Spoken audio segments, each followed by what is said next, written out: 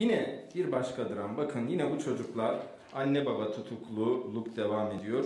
Ee, anne Hikmet Fındık, baba Dursun Fındık 15 aydır Kars'ta tutuklular. Biri 3, diğeri 7 yaşında çocuklara 65 yaşında anne anne bakıyor. 3 yaşındaki çocuk doğuştan şu çocuk hipotiroid hastası.